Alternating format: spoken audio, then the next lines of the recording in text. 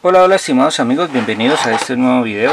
En el día de hoy vamos a continuar con la segunda parte de cómo hacer un circuito impreso. Estamos mirando quizá una de las técnicas más fáciles para hacer circuitos impresos y vamos a continuar haciendo uno que nos va a permitir armar un módulo amplificador. Un módulo que vamos a estar usando en uno de nuestros próximos proyectos de cómo armar una potente rocola.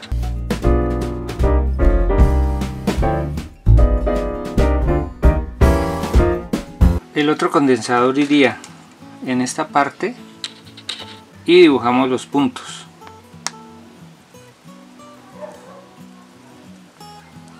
También utilizamos la regla para hacer el círculo.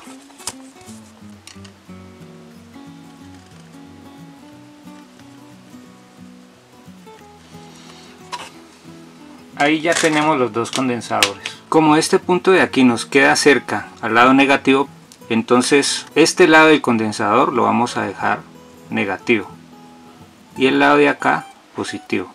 Lo mismo hacemos con este condensador de acá. Vamos a ponerlo en la misma posición. Que ambos negativos queden hacia el mismo lado. Entonces quedaría así. Y el negativo del puente rectificador lo unimos con el negativo del condensador. Unimos el negativo de este condensador con el positivo de estos que es la parte que nos va a dar el TAT central o el punto GND o tierra. Entonces lo unimos aquí de esta manera. Estos dos puntos son el que van a ir a este punto de aquí que es el punto tierra. Pero como nos falta conectar el positivo, vamos a buscarle este camino de aquí para conectar el positivo. Así de esa manera. Este punto que es el punto de tierra lo tenemos que conectar con este punto que está uniendo los dos condensadores. Podríamos usar este camino para llegar aquí. Pero si hacemos esto, este punto de aquí, que es un punto positivo, que va a alimentar el integrado amplificador, nos quedaría encerrado. Entonces para evitar eso vamos a poner un puente en esta parte de este punto a este punto. Por aquí vamos a poner un puente. Y por aquí por esta parte vamos a sacar el voltaje positivo. De manera que así podemos eh, perfectamente unir este punto con el punto de los condensadores. Entonces hacemos esto. Y esta parte vamos a bajarla un poco aquí a la mitad y lo unimos aquí Aquí ya tenemos entonces el punto tierra unido con el punto donde se unen los condensadores. Ya tenemos entonces acceso a los tres puntos principales de voltaje. El voltaje negativo, el voltaje común o tierra y el voltaje positivo por este lado. Entonces vamos ahorita a ubicar el, el integrado amplificador que es el TDA 2050. Recordemos que en la parte de acá va a ir el disipador de calor.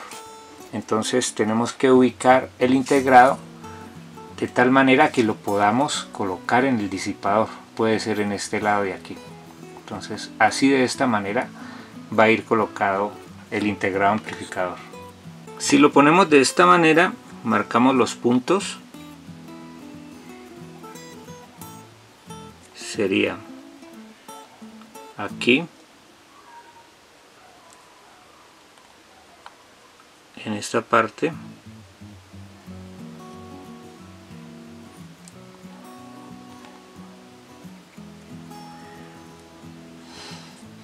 Ahí tenemos los puntos del integrado amplificador el TDA 2050 recordemos que el pin número uno de este integrado es esta primera patica de aquí. Ese es el pin número uno. Pero como el integrado lo vamos a meter es por el por el lado contrario va a entrar de esta manera tenemos que tener en cuenta que la posición cambia. El pin número 1 entonces sería este punto de aquí esta. Este sería el pin número 1 el pin número 2 el pin número 3 el de acá sería el pin número 4 y el pin número 5 esa sería la posición del integrado. Vamos a hacer primero las conexiones del voltaje Según el diagrama, el pin número 5 debe ir conectado al positivo. Entonces el positivo lo tenemos aquí. De manera que tenemos que hacer o que recorrer este camino. Entonces vamos a hacerlo.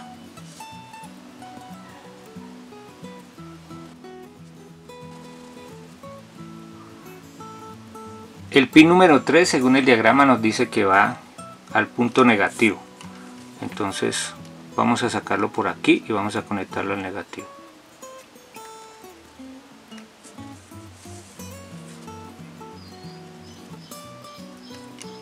Quedaría así. Si podemos notar, estamos perdiendo este espacio de aquí. Entonces, ¿qué voy a hacer? Vamos a correr esta línea y la vamos a sacar por aquí y la vamos a cruzar acá para poder aprovechar este espacio. Aquí ya corrimos la línea y recuperamos el espacio que teníamos acá. Si podemos notar, ya hemos conectado el pin número 3 y el pin número 5. Podríamos seguir con el, con el 1 o con el 2. Pero si hacemos eso, encerramos el pin número 4. Entonces vamos a seguir con el pin número 4. Vamos a sacar una línea por aquí y vamos a mirar qué va conectado al pin número 4.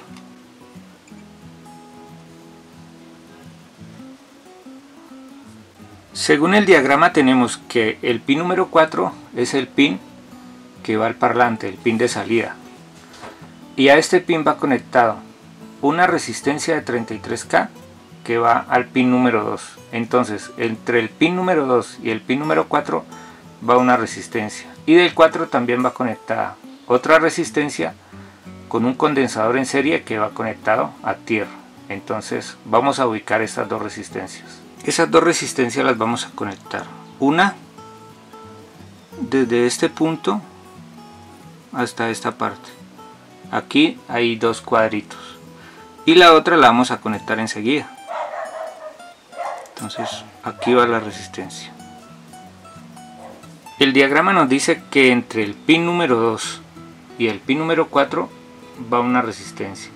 Entonces aquí sería simplemente unir este pin número 2 con el otro lado de la resistencia.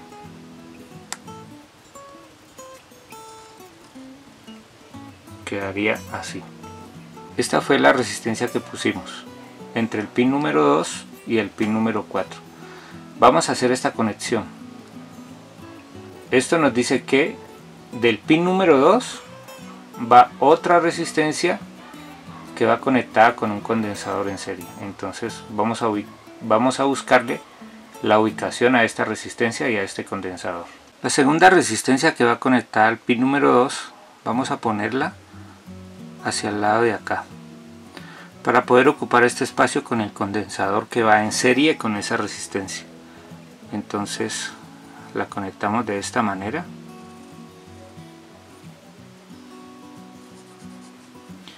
Y aquí en esta parte ya podemos ubicar el condensador.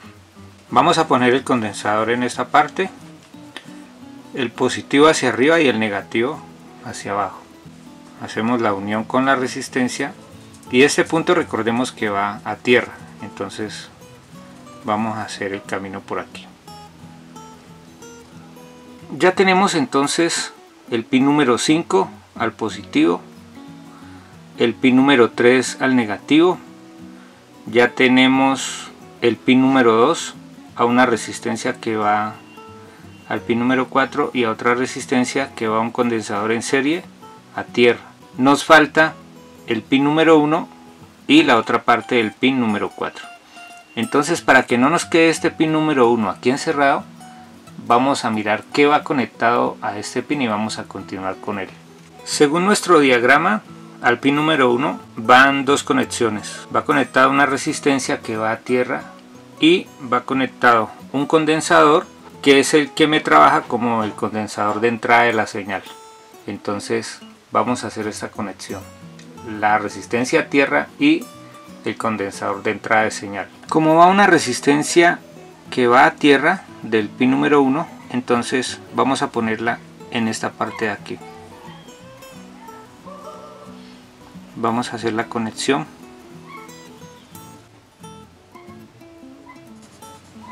y este punto va a tierra que es este mismo de aquí recordemos que también a este circuito impreso le vamos a poner un regulador el cual se va a encargar de alimentar el módulo USB entonces vamos a ponerlo en este sitio de aquí.